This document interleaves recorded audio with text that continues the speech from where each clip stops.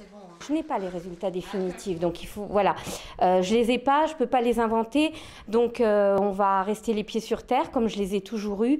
Et puis en tout cas, moi j'ai un objectif, c'est donner une majorité à François Hollande, parce que c'est pas parce qu'il a été élu, c'est pas parce qu'il aura une majorité à l'Assemblée nationale que les problèmes vont disparaître. Il va falloir se battre pour l'emploi, la jeunesse. Vous connaissez les combats, notamment PSA, il faut y aller.